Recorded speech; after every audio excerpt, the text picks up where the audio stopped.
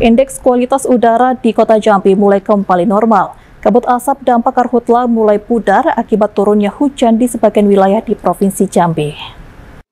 Kabut asap yang menyelimuti kota Jambi akibat kebakaran hutan dan lahan atau karhutla mulai normal. Hal tersebut disebabkan karena turunnya hujan di sebagian wilayah di Provinsi Jambi yang membuat kualitas udara menjadi bersih. Kepala BMKG Jambi, Ibnu Sulistio menyebutkan, dari pantauan alat PM2.5 yang dimiliki Badan Meteorologi, Klimatologi, dan Geofisika, kualitas udara pada Kamis 7 September 2023 berada di kategori sedang. Sementara pada hari sebelumnya, kualitas udara di kota Jambi masuk dalam kategori tidak sehat.